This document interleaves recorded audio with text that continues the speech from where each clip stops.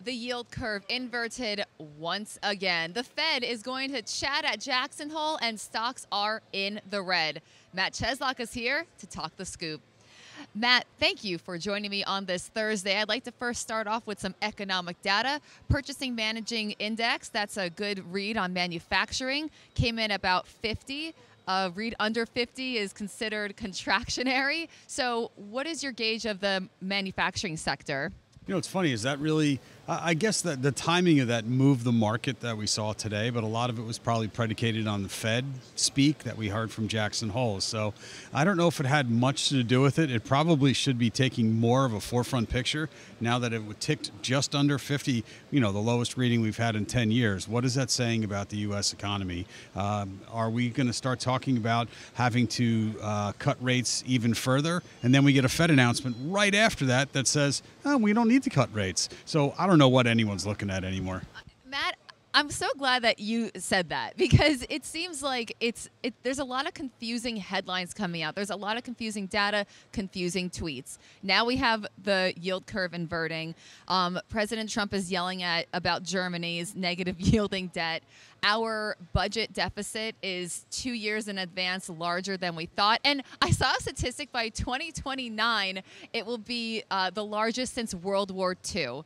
So, what is what is the president factor in with that? He'll be gone by then, so I'm not sure he cares about the deficit going in 2029, quite frankly. But uh, you know, I mean, these there's all kinds of different. Um, tweets and as you mentioned social media and now we're getting these interviews that have such uh, polarizing opinions. I mean, these are on the opposite ends of what we're expecting. That's what this market is reacting to. They have no idea what's going on, no idea what to expect. Uh, we thought we had an accommodative Fed at almost 100% expectation of a rate cut in September. That's going to tick down a little bit. That's going to only further cause confusion when we have no idea what the Fed is actually looking at. How are they going to compare our economy to foreign economies? Are we going to go to negative yields? You know, are we going to get close to that? We've got inverted yield curves. That hasn't really moved the market except for last Wednesday when we were down 800.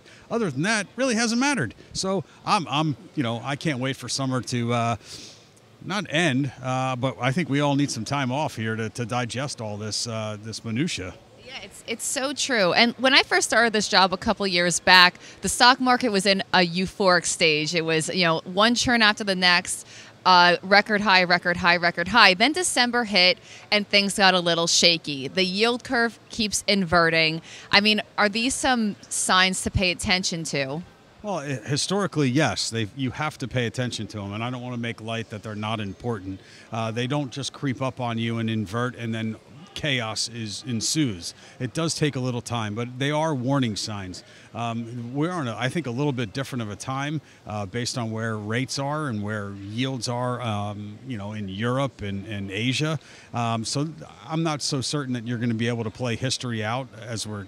But historically, there's a time period after the inversion that is good for stocks. We've seen that. We've seen that recover from that massive uh, knee-jerk reaction last Wednesday. So, uh, but now we're taking a look at retail. We talked about retail last week. Maybe that would be uh, the, a boon for the market, and we've seen it. It's different retailers. It's not your, uh, you know, your shopping center stores anymore. It's it's the Lowe's, it's the Home Depots, it's Target, which has reinvented itself. Um, you know, these companies have done a nice job getting out in front, getting in front of the uh, American consumer, uh, and they've done a great job at providing product for them to buy. And that's what's holding this economy up right now. And we've seen it from the rally that we saw in some of those names this week.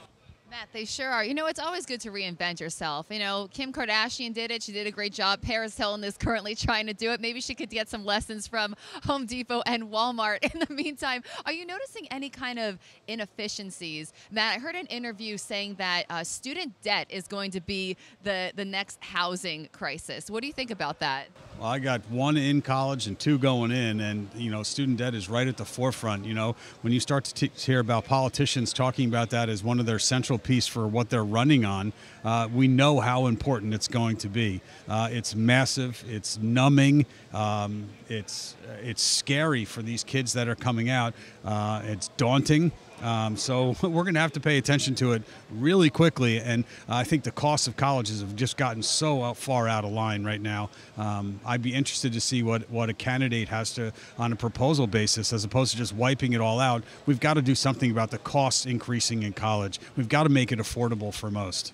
Well, Matt, I have to finish up with one more question since there's a lot of a lot of confusion out there. Uh, Matt, who makes the best chicken sandwich? That was the debate this week, so I have to ask you Popeyes, Wendy's, what would you say? Wow, uh, it'd be hard to say Chick fil A doesn't have it. Uh, every time you drive past a, a Chick fil A, going to a tournament or something with my kids, they want to stop. So uh, if they have any vote in this, it would certainly be uh, Chick fil A. Uh, I haven't tried some of the other ones. I'd like to try the Popeyes one maybe this weekend. Uh, but, you know, certainly that's, that's, that's an argument I'd love to be involved in certainly can be part of the conversation after you drive your kids down this weekend to uh, college. Maybe you can uh, let us know next week. Absolutely. My pleasure, and let me know how the crushes go.